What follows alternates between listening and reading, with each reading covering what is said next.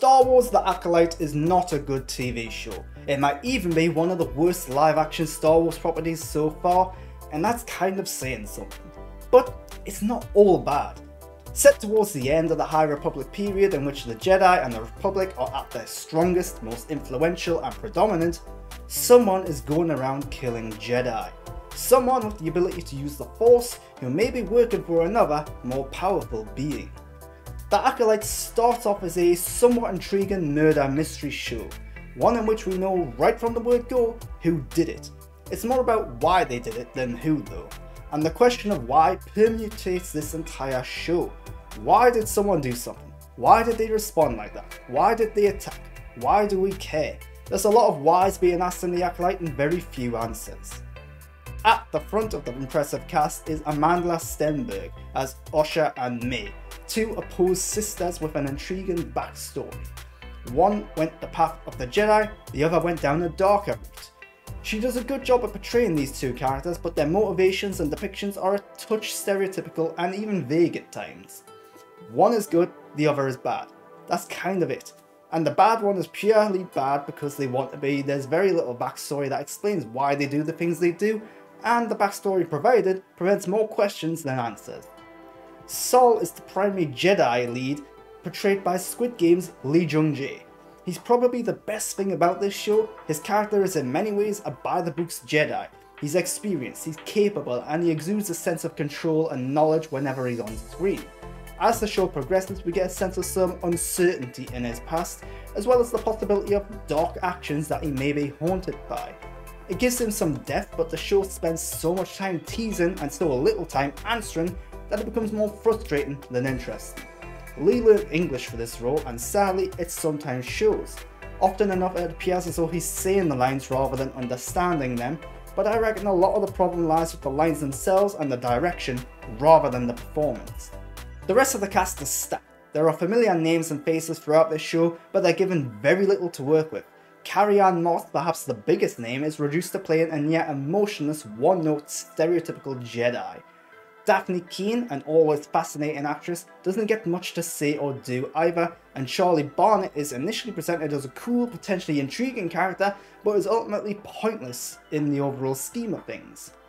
The problem is that the Acolyte is so focused on progressing the story on a basic level, it has little to no time to spend on developing the characters. After the 8 episode first season, I still couldn't tell you much of anything about anyone in the show, and I certainly don't care what happens to any of them either, because the show has failed to make them worth rooting for. The editing and pacing of the show are partly to blame. Everything moves along briskly, making it entertaining, but there's no time to breathe or take in events as they happen. It appears that a lot of content was cut or just didn't exist. There are scenes in almost every episode that end mid-sentence rather than in a natural endpoint. Everything feels rushed and underdeveloped. There's a little explanation or description of anything or anyone, and it makes the Acolyte a very surface level show. This wouldn't be such a bad thing if the surface level story was good, but again, thanks to the editing, writing and structure of the show, it isn't. There are two flashback episodes, one of which makes the other completely redundant and unnecessary. These flashback episodes are among the best of the season, but they derail the momentum and progression of the story, and they fail to adequately explain motivations and goals, instead opting to point out past events on a basic level. The overall story does have its moments with some decent reveals and twists, but with no larger purpose or explanation it often left me scratching my head in confusion or shrugging my shoulders wondering what the big deal was. There are also some bizarre attempts to poke at and perhaps even break Star Wars canon and lore, but without further exploration and development, they are more frustrating and angering than anything else. The ideas and concepts of the Acolyte are there, but with episodes that are rushed and too short, and writing that needed more polishing and development, very little of it works on an entertainment level. What does work are the action scenes. The Acolyte boasts some very impressive action scenes with great choreography. They're very reminiscent of The Matrix and Crouching Tiger Hidden Dragon, with style and acrobatics aplenty. They do make me wonder why Jedi before and after these events don't fight like this, but that's perhaps a minor quibble. Sadly, the production elements of this show aren't always impressive. Star Wars, even the less good Star Wars content, has always boasted impressive production and visuals. The Acolyte sometimes does, when it goes to real world locations, but the sets, the lighting and the props often look a little cheap and shoddy. Considering the huge budget and production values, and comparing this show to rivals like House of the Dragon or The Boys, it's incredibly disappointing that The Acolyte looks so bad in comparison.